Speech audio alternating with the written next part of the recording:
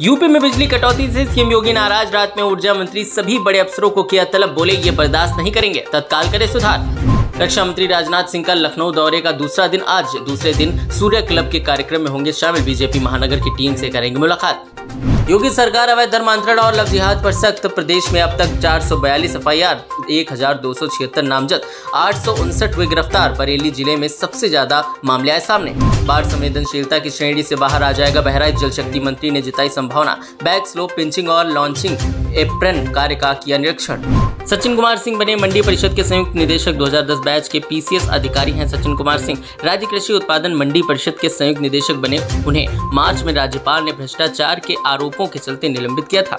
अखिलेश और ओएससी पर एफआईआर हो या नहीं सुनवाई आज ज्ञानव्यापी मामले में धार्मिक भावनाएँ आहत करने का आरोप। शिवलिंग जैसी आकृति पर दिया था विवादित बयान। गोरखपुर में एक्शन में आई IG J Ravindra Gaur. IG ने रेंज के सभी कप्तानों को दिए निर्देश। लूट, डकैती के अपराधियों के घर दस्तक दे पुलिस। लूट और डकैती के अपराधियों का सत्यापन करे।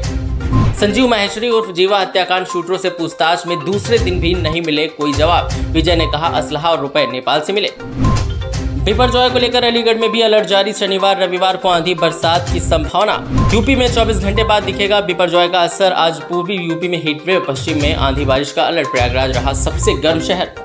देश विदेश की ताज़ा खबर पाने के लिए हमारे चैनल वी न्यूज़ को सब्सक्राइब करें व बेल आइकॉन दबाना न भूलें।